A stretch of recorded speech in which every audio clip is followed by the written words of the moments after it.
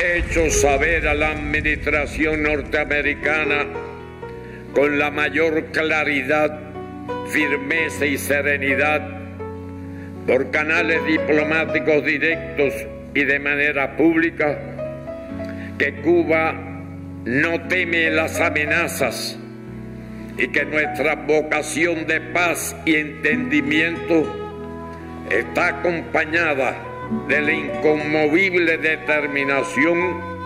de defender el derecho soberano de los cubanos